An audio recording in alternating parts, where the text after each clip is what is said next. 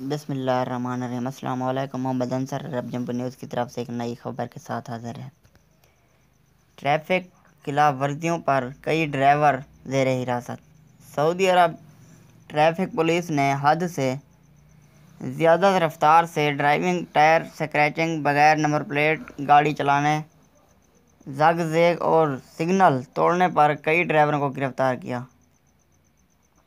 अखबार चौबीस के मुताबिक सोशल मीडिया पर मुबैना ट्रैफ़िक खिलाफ वर्जियाँ करने वाले ड्राइवरों के वीडियो क्लिप्स वायरल थे। शहरियों ने गम व गुस्से का इजहार करते हुए कार्रवाई का मुतालबा किया था।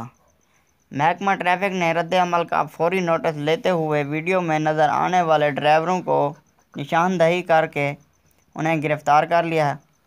जेर हिरासत अफराद को ट्रैफ़िक कानून में मुकर सज़ाएँ दिलाने के लिए ट्रैफ़िक अथार्टी के हवाले कर दिया गया। महकमा ट्रैफ़िक ने सोशल मीडिया सार्फिन का शुक्रिया अदा करते हुए कहा कि गैर कानूनी सरगर्मियों के खिलाफ बर वक्त रद्द अमल देकर एक तरह से आगाही मुहिम चलाई है। वीडियो देखने का बहुत शुक्रिया और मेरी वीडियो अच्छी लगी हो तो मेरे चैनल को ज़रूर सब्सक्राइब करें, लाइक करें, शेयर करें। और साथ में दिए गए घंटे के निशान पर क्लिक करके आल पर सेलेक्ट कर दें, ताकि मेरी हर आने वाली न्यू वीडियो से आप बाखबर रह सकें। तमाम ड्राइवर सब की सलामती की खातिर ट्रैफ़िक कवानीन जवाब की पाबंदी करें।